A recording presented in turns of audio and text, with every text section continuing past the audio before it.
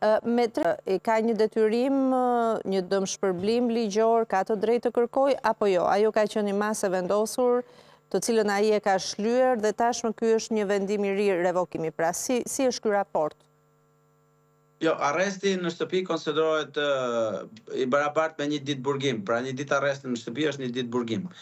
Në këtë rast, në qoftë se zoti Berisha do të deklarohet i pafajshëm me vendim përfundimtar, themi, ose të formës së prerë, I lind e drejta të kërkojë dëmshpërblim sipas ligjit, që është një ligj i posaçëm, i cili përcakton deri në masën e tridhjetë mijë lekë maksimumi në ditë dëmshpërblim për burgim të padrejtë. Por jemi shumë larg këtij momenti për të diskutuar, sepse procesi është në fillimet e veta dhe derisa vendimet qofshin pro apo kundra të marrin formë të prerë, do duhet të kalojë goxha kohë, mendoj unë.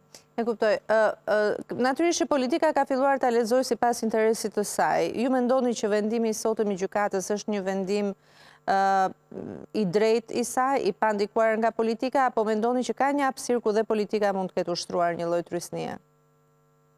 Shiko, gjykata e posaçme, përtej kritikave që njerëzit i bëjnë përditë, edhe unë ndonjëherë me të drejtë kam evidentuar vërejtjet e mia, është një gjykatë e cila nuk mund të ndikohet edhe po të dojë. Kushdo që të dojë nuk e ndikon dot. Mhm. Nëse një gjyqtar do të ndikohet, nuk ka nevojë të kesh pushtet të ndikohet, ai ndikohet vetë. Por unë nuk mendoj se në radhët e gjyqtarëve atje janë karakter njerëz që janë lehtësisht të ndikueshëm.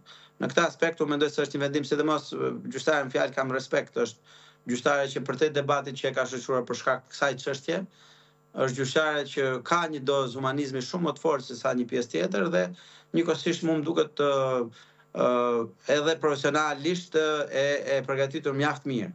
Në këtë aspekt mendoj që është një vendim i cili ka ardhur si një pjekuri e procesit. Pra kjo gjykatë Ndodhet në një presion normal të mbrojtjes së zotit Berisha, por nga ana tjetër duke qenë e vëmendshme edhe në raport me ecurinë e procesit, mendoj që procesi shkoi në një pikë ku çdo arsyetim në të kundërt të një vendimi të të kundërt nuk do kishte më sens, kështu që gjykata mendoj ka rezistuar në maksimumin e mundshëm dhe tashmë ka parë që duhet patjetër që të ndryshojë qëndrim, kjo edhe në vrazhdën e vendimit të Gjykatës Kushtetuese, e cila mendoj pritet që edhe në me datë 27, besoj që do ta konsiderojë arrestin në shtëpi jo proporcional. Çka do të thotë që gjykata është treguar edhe e zgjuar në kuptimin që ta bëjë përpara se sa të dalë vendimi i Gjykatës Kushtetuese duke duke shfajësuar në një farë mënyre gjithë sistemin për çfarë ka ndodhur, Por, unë gjykoj që gjykimi i Gjykatës Kushtetuese është shumë i rëndësishëm, jo për zotin Berisha, por që Gjykata Kushtetuese të mundësojë një përgjigje të mirë arsyetuar dhe për raste të ngjashme. Unë mendoj se praktika gjyqësore e Shqipërisë përsa i përket paraburgimit ka nevojë për një ndryshim rrënjësor dhe këtu duhet që në radhë të parë deputetët, të cilët marrin vendime, shumë të ngutshme dhe aspak të kujdesshme kur bëhen ndryshime në legjislacionin penal dhe ata kujtojnë që këtë legjislacion, ky legjislacion është demokratik vetëm kur bie në kurrizin e tyre, duhet patjetër që nëpërmjet një politike profesionale të ketë një qasje të re për humanizimin e sistemit të drejtësisë së Shqipërisë i cili është, mund ta them pa asnjë dyshim, edhe krahasuar me vendet e tjera, sistemi më represiv i Evropës Juglindore dhe i gjithë Evropës demokratike sot në aspektin si të dënimeve, masës së dënimeve, por edhe të shkallës së pafajësisë në raport me atë të fajësisë.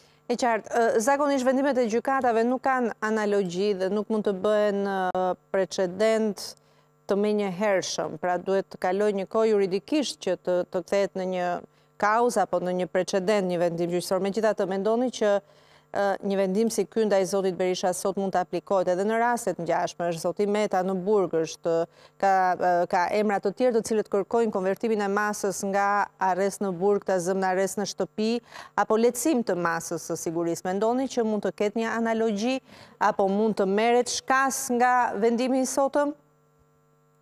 Ju e thatë shumë mirë, rasti rastit nuk i ngjan dhe analogjia në Shqipëri nuk lejohet, në Kodin Penal, në legjislacioni jonë nuk e lejon zbatimin e ligjit me analogji, por kërkon personalizim të rrethanave.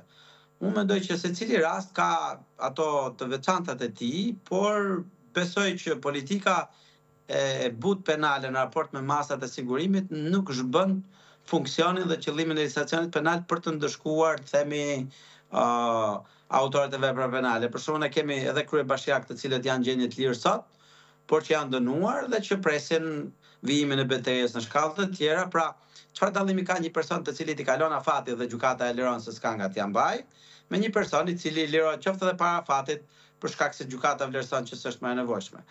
Mendoj që është një një një një kulturë që ne kemi trashëguar nga ish sistemi, ku masa e sigurisë ishte baras me dënimin dhe nuk është se kishte mundësi dikush që dilte i pafajshëm si rregull në pjesën më të madhe. Dhe besoj që edhe personat e tjerë sidomos për rrethana personale, siç kemi raste kur mund të jenë të sëmurë, rrethana familjare etj etj mhm. dhe për sa kohë nuk dëmtohet procesi i hetimit dhe provat, padyshim që duhet të zbutet masa e sigurisë.